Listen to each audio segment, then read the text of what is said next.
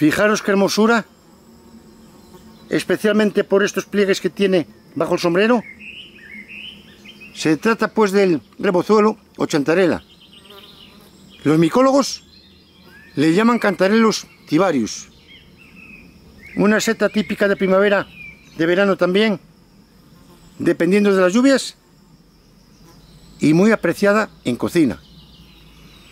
Tiene un olor afrutado, albaricoque, y fijaros que estos pliegues son decurrentes,